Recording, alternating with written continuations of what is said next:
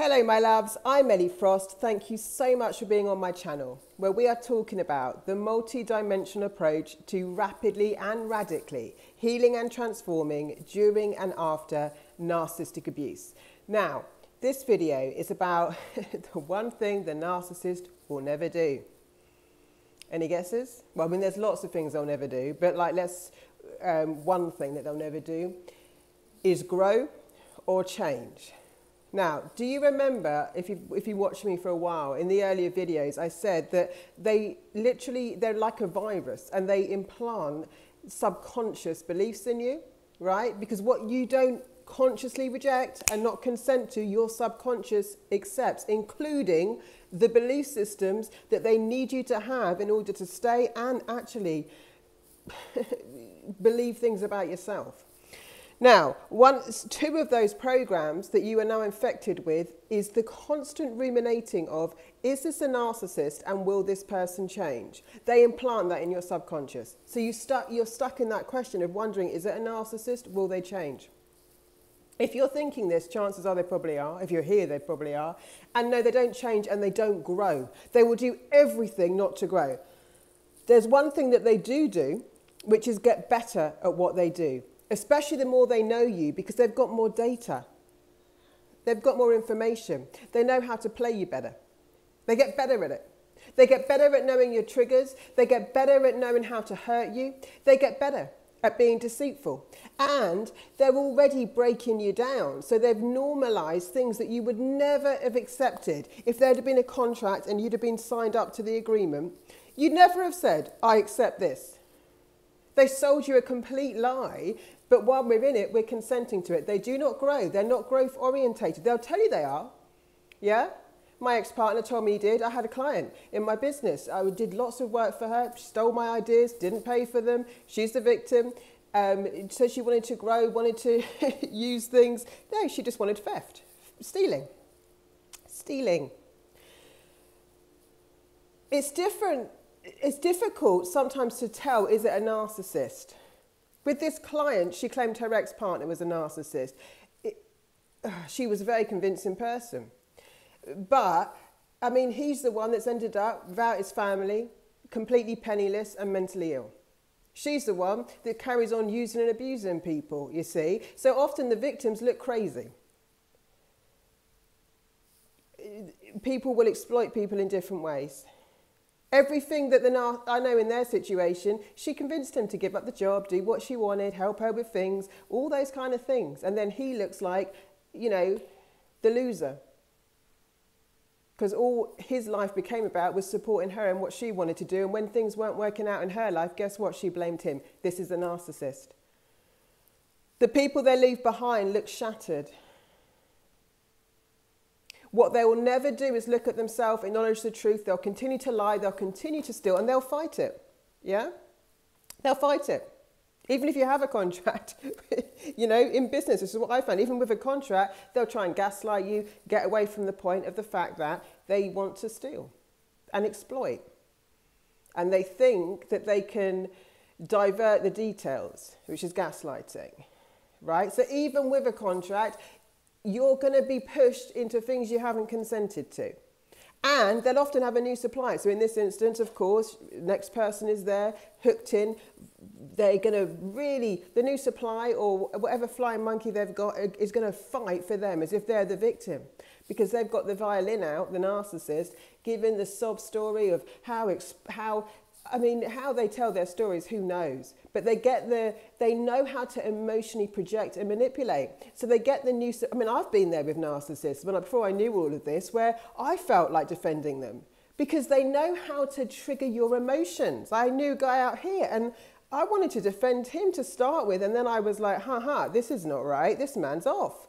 Um, but like he got other spiritual people to defend him. I think I spoke about that before. Like a friend of mine, she was a Reiki master as well. She had her own business, successful girl, spiritual woman. But I mean, she was like, he's just like my brother, and I don't want anyone exploiting him. He was exploiting so many people, especially women. But like, you know, the emotion that he And he didn't even know, you know, the girl that I was friends with that, you know, viewed him like a brother, but they didn't know each other. That was so fascinating to me because he knew how to, how to, like they know how to psychically appeal to the right emotion that's going to trigger something in you and make people often want to protect them, but they're not the victim.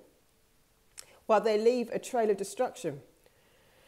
The, the, the sad thing about the new supply is, unfortunately, some of these people are going to end up, if they'd looked at the history, in the same way. But narcissists will twist everything in the truth.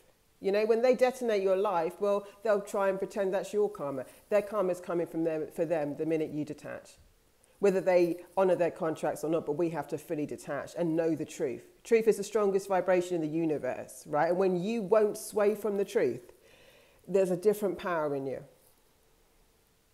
But knowing the truth as empaths, as empathetic humans, is hard because we doubt ourselves so much. You know, with, with the opposite of the narcissist. The narcissist doesn't doubt themselves, they lie, and they stand by their lie like fiercely.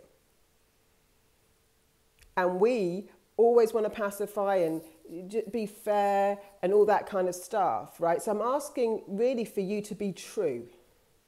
Don't with a, especially with a manipulator or a narcissist, you, you're not looking to do what you project as fair. You've got to stand by very, very factual truths, especially if you're going through a divorce or something like that. I do have one-on-one spaces if you need some extra help with dealing with certain things, right, with these kind of uh, people.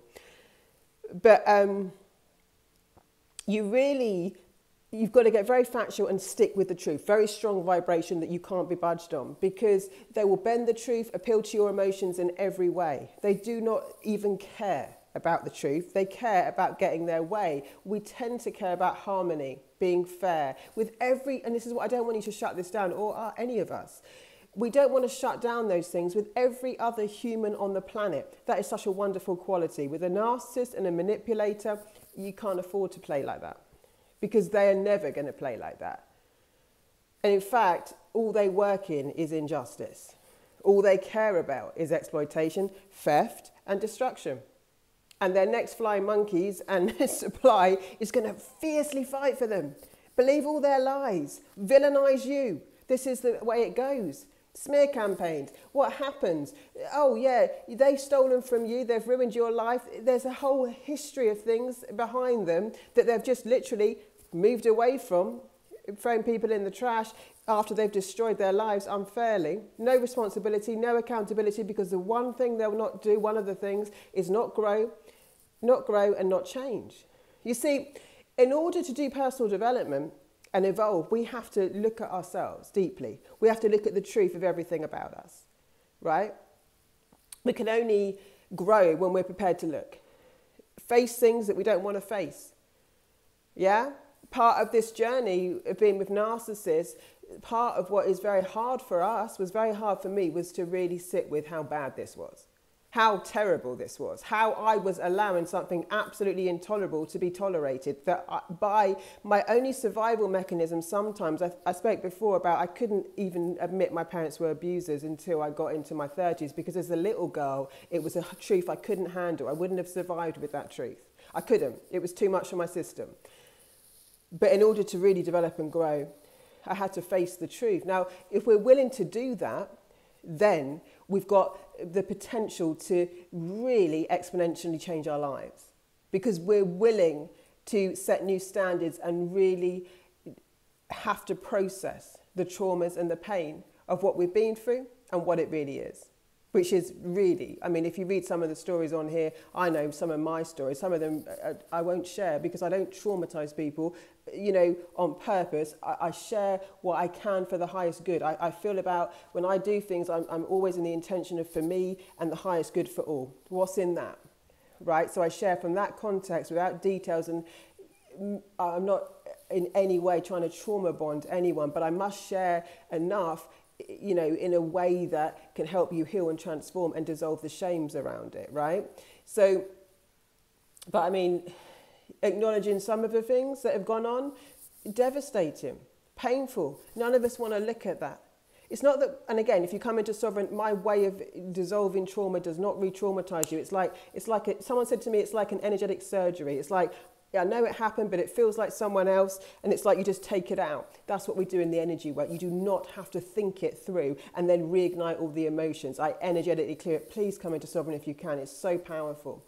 But like, we have to face the truth of how bad it is right? We have to literally drop the lie.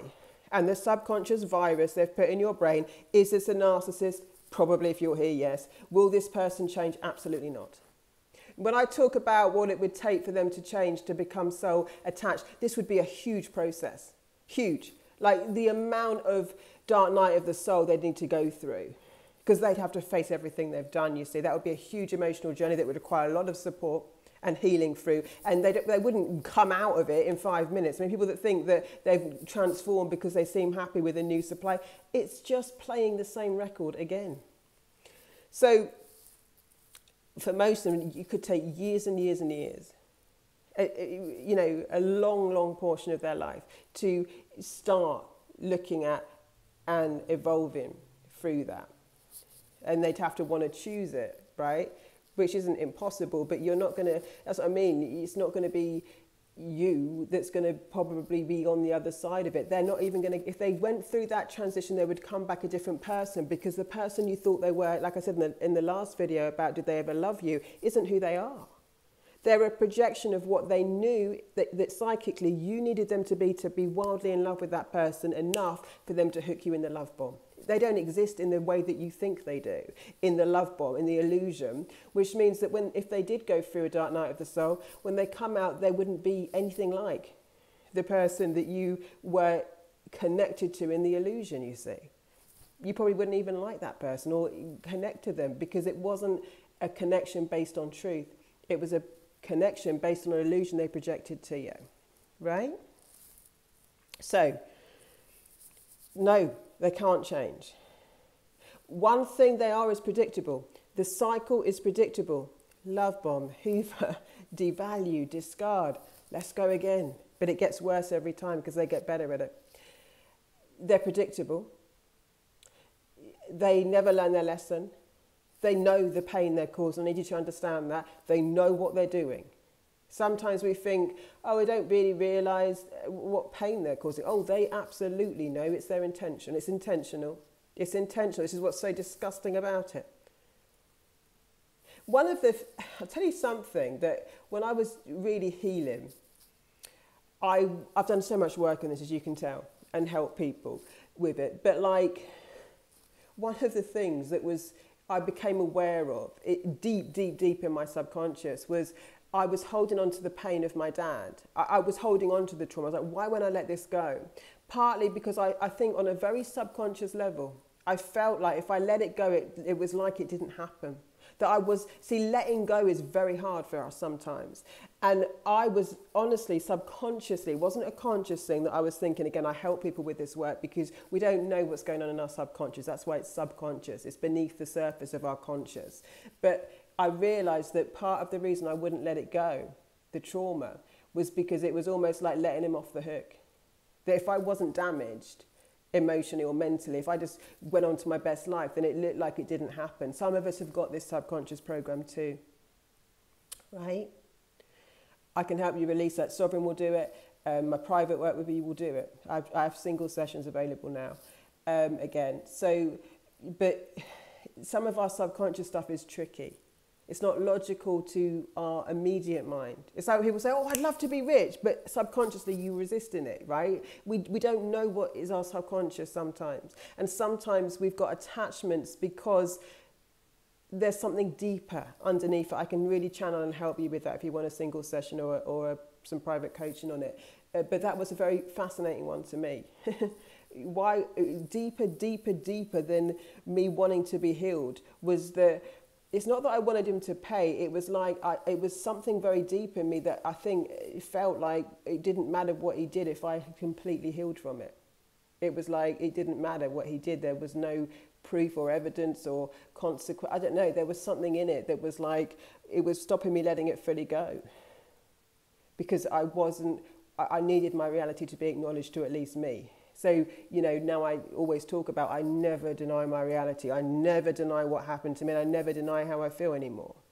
Because doing that helps us really be at peace with things differently, accept things differently, and um, not hang on to our trauma.